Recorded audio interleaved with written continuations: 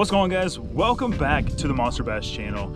My name is Jeremy with Fishing Lone Star. Today we're actually going to do two different challenges. Let me tell you about the first one. The first one is I'm going to alternate cast, let's say about every 10 to 15 casts between either a crankbait or a swim jig. And we're gonna see on this lake out here in East Texas, which one catches more fish this morning, right? So we'll keep count of not only our cast, but also our fish, and then we'll tally them up at the end and figure out which one catches more fish, crankbait or swim jig.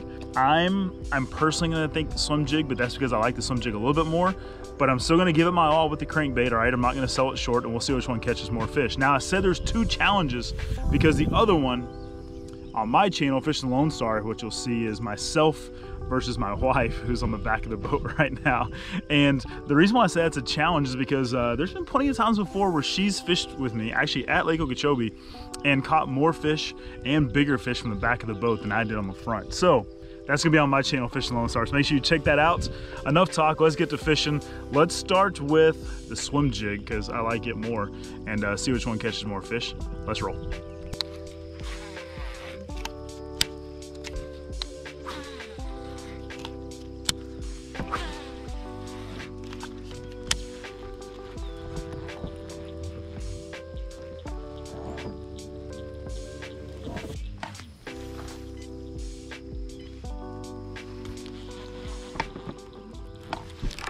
There's one.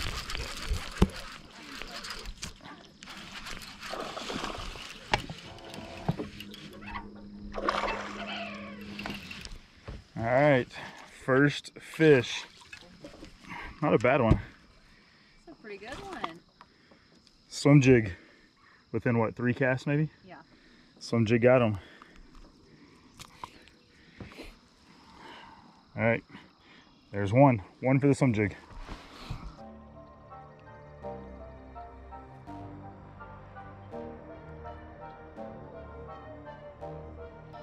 All right, third cast on the swim jig. I'm gonna give it a few more and then we'll switch to the crankbait.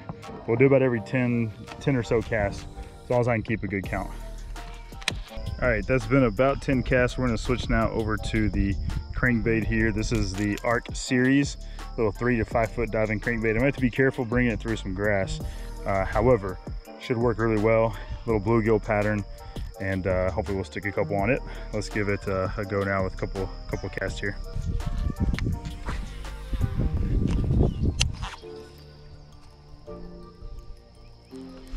There's one, little one, real little one. Oh, look at that, that's a crappie, guys. I'm not sure that we're gonna count that though in our crankbait versus swim jig challenge. That was actually cast number 10. Uh, not a bass.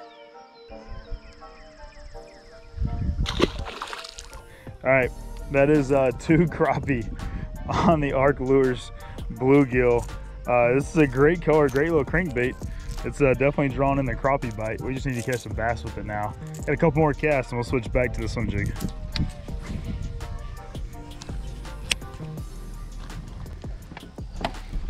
There's one. That's a bass that time.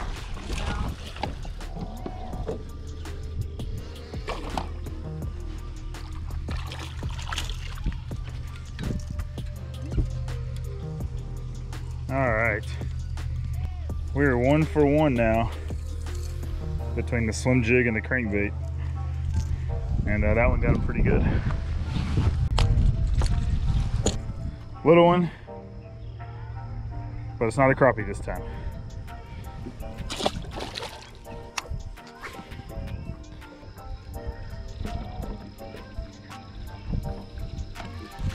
There's another one. All right, they're eating the crankbait right now. Was a fun jump.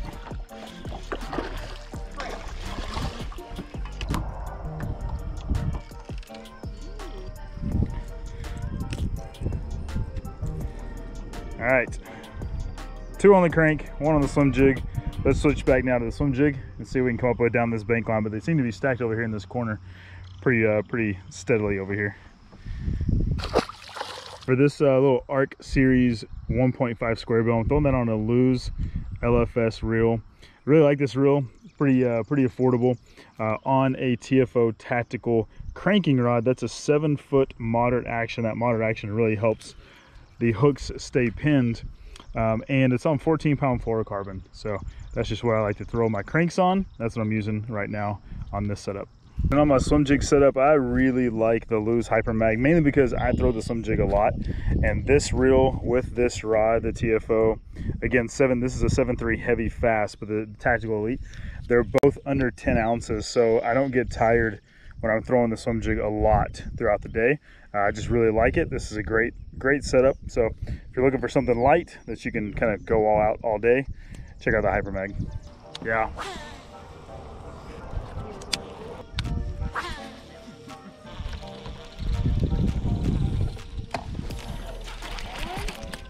Yeah, swimming towards me. Oh, that's a good one. Or better. Nah. All right.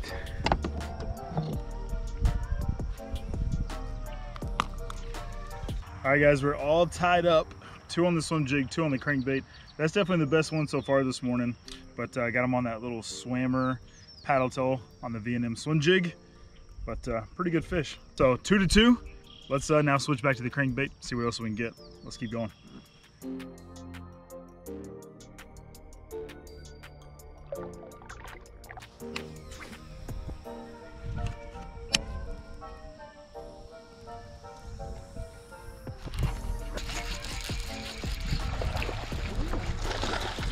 Couple, couple of casts into the crankbait. Three now for the crankbait, two for the swim jig. That was only three casts in to switching over, so that's a little Arc Series crankbait's doing really well.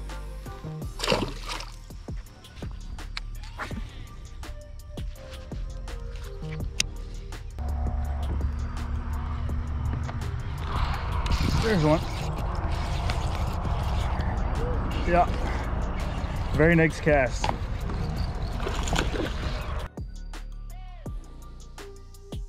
All right, very next cast on the crankbait. One came up and ate it. That's now three on the crank, or four on the crank. I think it's four actually on the crankbait, and two on the swim jig. And uh, that's a pretty decent one. The biggest one's still on the swim jig, but they're eating the crank a lot more. Let's keep at it. All right, so what's seeing me working with the crankbait is you'll see right now we're in six foot of water, um, but just right here, like literally where my rod tip is, is about four foot and then three foot. So I'm basically paralleling the bank line here and that four to seven foot range. And that's just where the bass seem to be hanging out today. Every now and then we'll see them crash shallow. The swim jig is done better up there in the grass. But today the fish are hanging out out here. Normally on a grass lake, you would think that the swim jig would do better, but uh, the crankbait's winning so far. See, here's a good example. I pulled off the bank and you can see where the water dropped down, but then fish are hanging off right off that drop. So we're in 10 foot now. We got to get a little bit closer, but uh, you can see kind of a good example of what I'm talking about, where the fish are hanging off of that lip.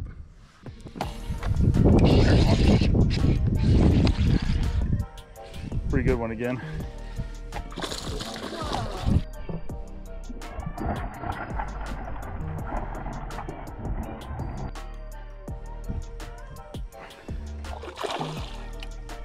Well, he is fighting. The, no, it's the other troll motor. Oh, shoot.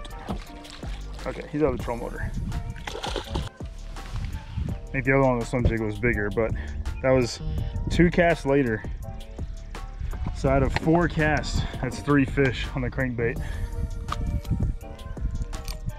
And that is now five on the crank and two on the swim jig.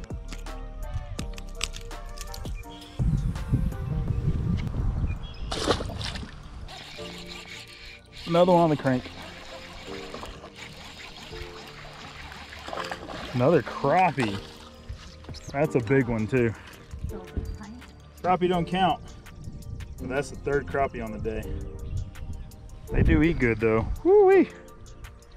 Woo-wee.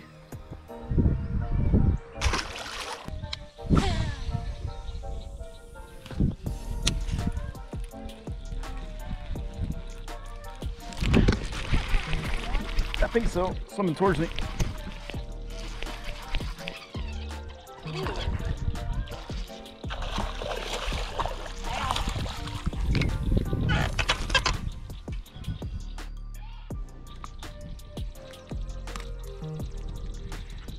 Pretty good one there on the swim jig.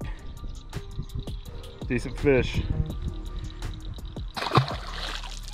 All right, that is five on the crank, three, almost had two, three on the swim jig. We got about 30 more minutes to fish. Let's see who's gonna take home the trophy in this little competition. All right, guys, crankbait versus swim jig, one of my favorite lures.